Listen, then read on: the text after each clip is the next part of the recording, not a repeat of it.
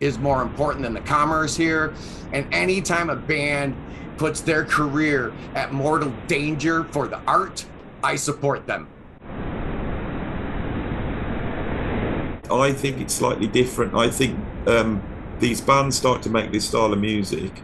They started to become more extravagant, longer tracks, more conceptual, and it was happening at a time when people were have you know buying stereos and they had they wanted experience in their living room and they wanted to go on that journey.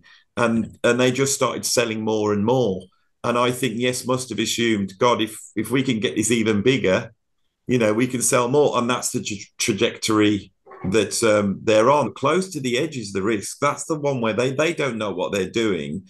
And then they're thinking now we know we we we've got it nailed and they're they're showing off they're they're they're taking all these ideas that they've developed and they're they're doing them to the max the label was willing to let them do whatever they wanted to do and the spirit of the 70s was such that uh, you know thick as a brick and a passion play from jethro tull both hit number one in the US. They both had one song on them cut across two sides.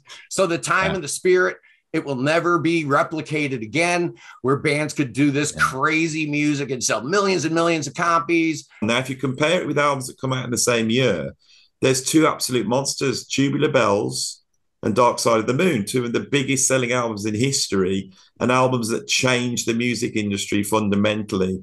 And I think, yes, we're trying to do something similar to that I don't think they succeeded in the way Pink Floyd or Mike Oldfield did. And I think when you look at some of the other progressive rock bands, think of Jethro Tull, who had done Thick as a Brick, everybody loved it. And then Passion Play came out, and that got a bit, bit of a bashing from the critics as well. And, and I think the bashing was more from the critics than it was from the fans. I'm sure Yes fans were just loving the fact that they brought out this big double album. And I think they weren't taking a risk they were thinking that they were doing something that was commercial because this stuff was selling.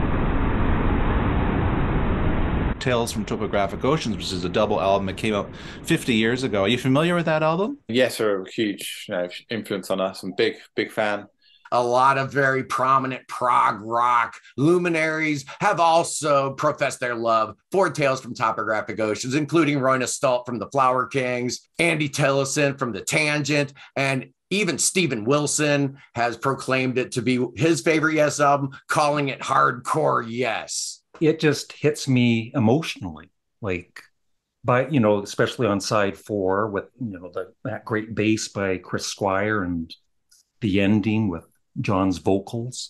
Really, my introduction to prog was through my dad. He's was a big fan of this music, and Yes is one of his top favorite bands. One of the first ones that he showed me when he was introducing me to prog. And so it was something I latched on to pretty quickly and really loved. And I know that this is my dad's favorite Yes album. So he was excited to show this one to me because it is so near and dear to my dad's heart, it kind of is to mine as well. You know, he talks about how it's like you know means a lot to him because of the the journey it takes you on it's very adventurous and and it sparks his imagination. He says sometimes when he can't go to sleep, he'll like think about the the the music and he'll like play it in his head. He like knows it so well he can like pretty much reproduce it just in his head as he's trying to go to sleep and we'll play through the different album sides and so it's it's a really great uh, exploration. A 13 year old kid putting headphones on, lying down on the sofa, listening to Tales from Topographic Oceans is probably looking at that album cover the whole time. You know, reading the lyric sheet. That is the beauty of Yes, taking you to a whole new place,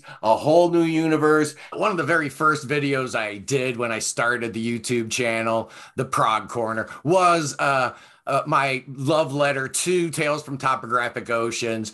But you know what? It didn't always start that way. I heard Fragile first. Then, of course, I went to the Yes album and Close to the Edge. I got Yessongs. Somehow I jumped ahead to Relayer.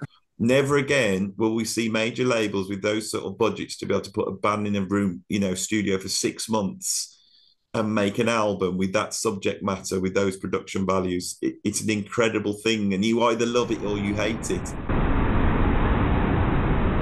I got Tales. I was all excited, and I didn't like it.